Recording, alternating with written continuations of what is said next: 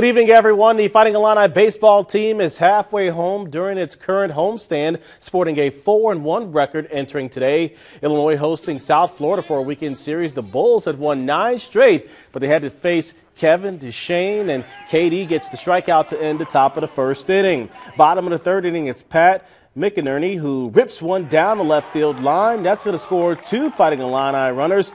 And Illinois goes on to win by a score of 13 to 1. The Illini softball team opening up, opening up Big Ten play this weekend with Minnesota in town. They ranked 15th in the nation. Top of the third inning, Brianna Wonderly in the circle gets the strikeout. But that's where the good vibes ended because the Gophers would get the green light. Paige Palkovich has liftoff and she gets the home run over the fence. Minnesota wins this one 14 to 2.